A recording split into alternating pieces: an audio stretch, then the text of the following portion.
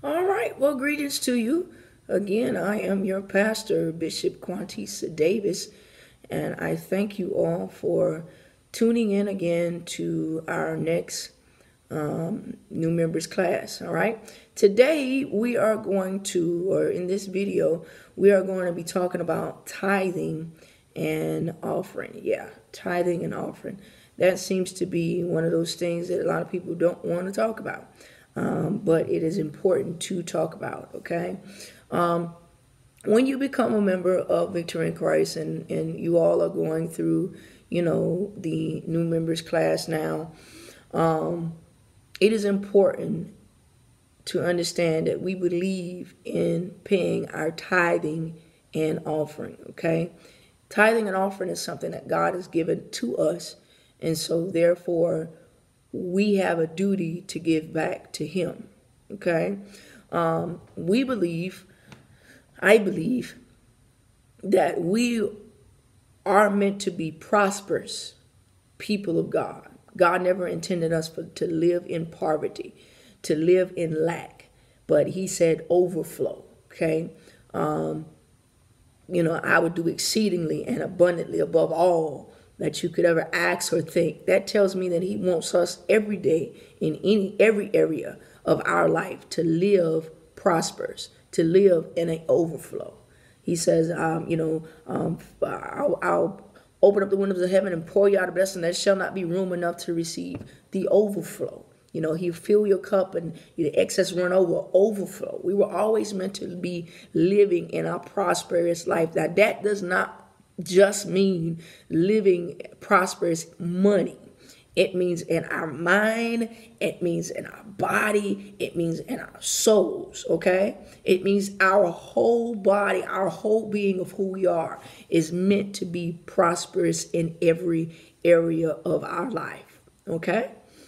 And so he told Abraham, you know, he said, You will be blessed to be a blessing. And I truly believe that we are all blessed to be a blessing. My wife and I and our family, we are blessed to be a blessing. Um, and, and, and it starts, beloved, with your tithe paying.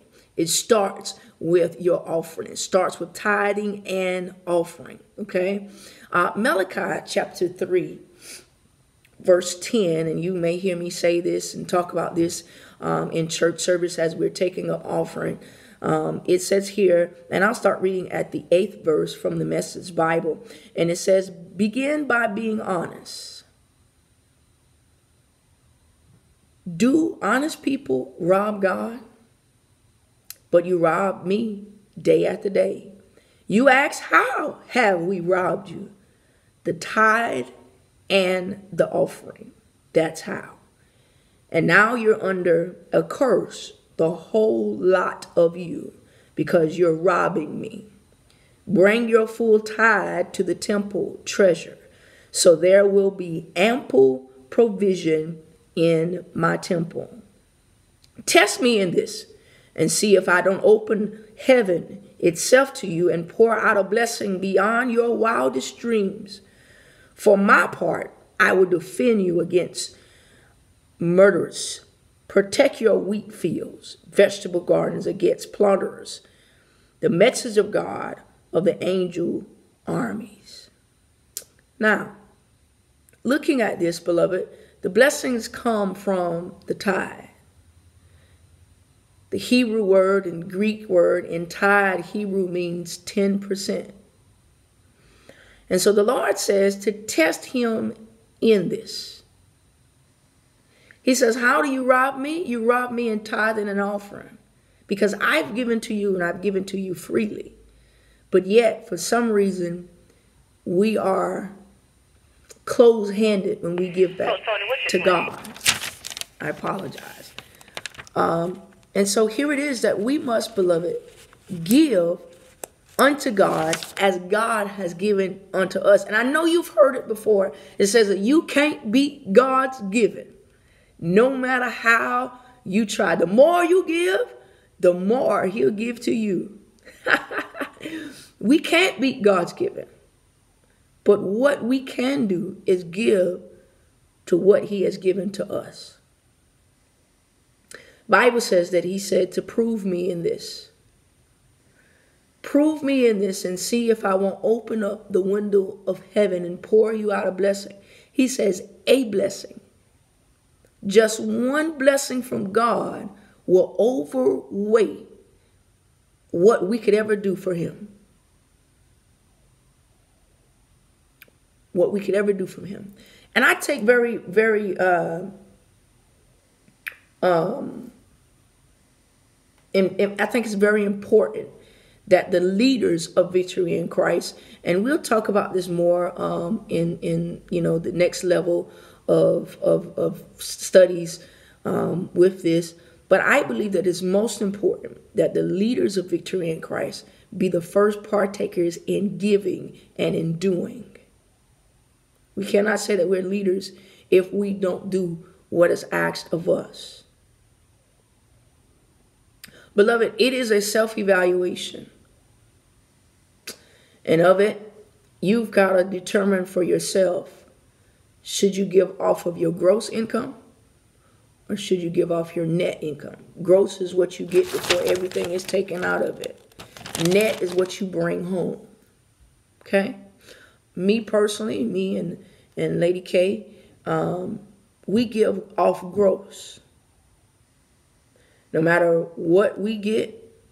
Um, because I see it as this when we pay and we give our tithing and our offering, God opens windows and He continuously pours into us. And so the things that I wasn't expecting to get, the checks and the, the direct deposits and you know the gifts and stuff and engagements that I was never expected to be asked to come and preach. I, I give off of that because I understand that this was something that I didn't expect to have in the first place. But because I got it, it was because of God. And I'm going to give back unto Him.